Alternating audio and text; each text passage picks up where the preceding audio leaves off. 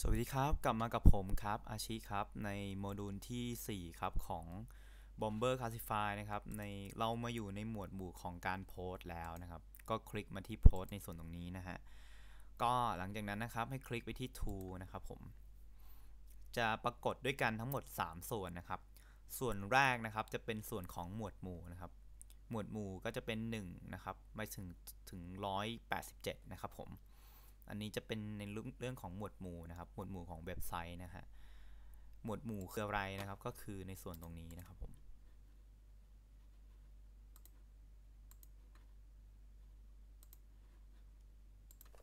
เข้า deal fit นะฮะ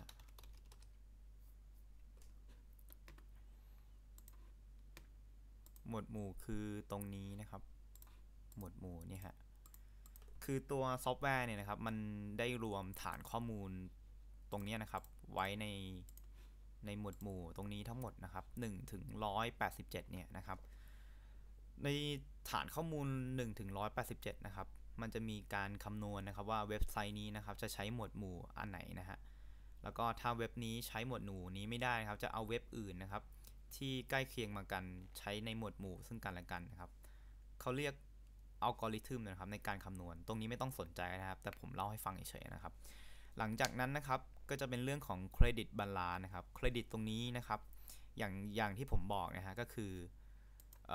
ถ้าเป็นเคยใช้งานมาก่อนก็จะไม่มีปัญหานะครับ 1 เดือนนะครับผมจะมีเครดิตของคุณอยู่ที่ 2,500 points นะครับผมในส่วนตรงนี้นะครับ คุณโพสเว็บ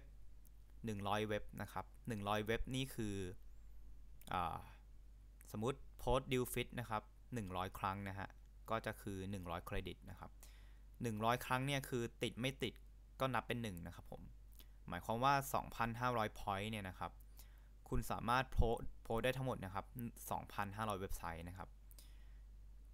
ก็ถามว่าเครดิตตรงนี้นับวันไหนนะครับ ต้องบอกก่อนครับ นับวันนับวันแรกที่ใช้งานนะครับ เช่น คุณซื้อโปรแกรมกลางเดือนนะฮะ เครดิตตรงนี้จะนับตั้งแต่วันที่ 15 ของกลางเดือนนะครับ ไปจนถึงวันที่ 15 ของกลางเดือนหน้านะครับ จะเติมเครดิตให้ใหม่นะครับ ถ้าคุณไม่ใช้นะครับ จะไม่มีการทบจากเดือนที่จะไม่มีการทบจากเดือนก่อนนะครับ ไปยังเดือนถัดไปนะครับ ก็เครดิตโดยปกติแล้วนะครับ จากระบบนะครับจะใช้อยู่ที่ประมาณ 1,500 เครดิต โดยเฉลี่ยนะครับ เกือบทุกคนจะเป็นประมาณนั้นนะครับ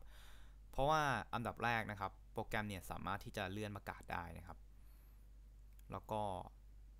การที่โพสต์บ่อยๆไม่ได้ไม่ไม่ได้ดีนะครับ ผมต้องบอกก่อนนะครับ โพสต์ให้พอเหมาะนะครับ แต่ควรจะเลื่อนประกาศให้บ่อยนะครับ การที่เลื่อนประกาศบ่อยนะครับ จะทำให้อัตราการติด Google ของคุณนั่นค่อนข้างสูงเพิ่มขึ้นนะครับผม ส่วนของ point ตรงนี้นะครับ ผมก็ได้บอกไปแล้วนะครับผม โอเค ถัดไปนะครับผมจะมาพูดถึงเรื่องโพสต์นะครับ เรื่องโพสต์นะฮะ ส่วนตรงโพสต์ตรงนี้นะครับ จะแบ่งเป็นด้วยกันทั้งหมดเนี่ยสอย่างนะครับผม อย่างแรกนะครับก็จะเป็นข้อมูลประกาศนะครับผม ข้อที่2เนี่ยนะครับก็จะเป็นการตรวจสอบข้อมูลนะครับ ข้อที่3เนี่ยจะเป็นเรื่องของการโพสต์นะฮะ ข้อที่4เนี่ยจะเป็นเรื่องของการเลื่อนประกาศนะครับสเต็ปเนี่ยก็ไม่มีอะไรยากครับผม ก็คือให้คุณนะครับกรอกข้อมูลส่วนนี้ให้ครบนะครับ แต่ละช่องเนี่ยนะครับจะมีไกด์ให้ทุกอันนะครับ เอาคุณเอาเอามาไปวางได้เลยนะครับ จะมีไกด์ให้ทุกอันนะครับผม เพื่อให้ไม่เป็นการสับสนนะครับ ตรงนี้นะครับก็จังหวัดนะครับก็เหมือนเดิมนะฮะจังหวัดตรงนี้ถ้าไม่ได้ก็กดบวกนะครับ เพื่อให้ไปดึงฐานเซิร์ฟเวอร์เข้ามานะครับผมตรวจสอบข้อมูลก่อนโพสต์เหมือนกันนะครับ เดี๋ยวผมจะพูดในโมดูลถัดไปนะครับ แล้วก็ 3 นะครับจะเป็นวิธีการใช้งานก็คือเป็นการโพสต์นะครับทั้งหมด 4 ก็จะเป็นการเลื่อนประกาศนะครับอ่าโอเค เดี๋ยวผมขอกดปิดอันนี้ไปก่อนแล้วกันนะครับ โมดูลนี้นะครับผมจะพูดถึงภาพรวมนะฮะ แล้วก็ผมจะพูดถึงหมวดหมู่ก่อนนะครับ หมวดหมู่ตรงนี้นะครับ ให้คุณนะครับเลือกหมวดหมู่ให้ครบทั้งหมดนะครับ กดไปที่หมวดหมู่นะครับ ให้รอสักครู่หนึ่งครับ เพราะว่าหมวดหมู่เนี่ยนะครับ มันจะไปดึงฐานเซิร์ฟเวอร์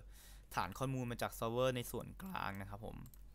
ก็ให้เลือกหมวดหมู่ที่คุณต้องการจะขายนะครับ ตอนนี้นะครับผมกำลังโพสต์เครื่องใช้ไฟฟ้านะครับผม ผมขายเครื่องทำน้ำอุ่นนะครับ ตรงนี้ถ้าไม่มีก็ข้ามไปนะครับ ก็ให้คุณเลือกได้เลยนะครับ เลือกไปเรื่อยๆนะครับผม เลือกไปจนครบนะครับ คือมันอาจจะใช้เวลานิดนึงนะครับ แต่ว่าเลือกแล้วนะครับ ตัวซอฟต์แวร์มันจะเก็บฐานข้อมูลให้นะครับ เลือกให้ครบนะครับผม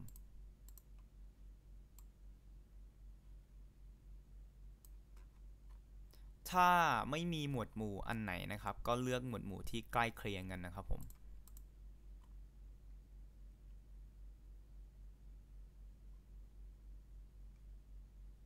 ถ้าเป็นเลือกหมวดหมู่ย่อยแบบนี้นะครับ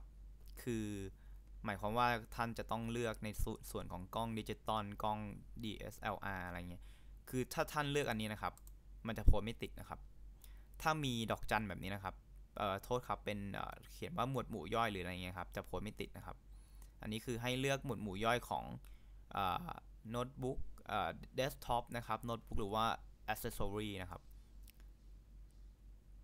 อ่านะครับ ก็ให้ให้เลือกไปเรื่อย ๆ จนครบนะครับ จนครบทั้งหมดนะครับ หลังจากครบแล้วนะครับก็ให้มาที่โพสนะครับ ในส่วนของโพสนะฮะ เดี๋ยวผมจะขอตัดวิดีโอนะครับ เป็น 2 ชุดนะครับ นะฮะ ขอตัดวิดีโอเป็น 2 ขั้นตอนนะครับผม แล้วกลับมากับผมใหม่ในโมดูลถัดไปครับ สวัสดีครับผม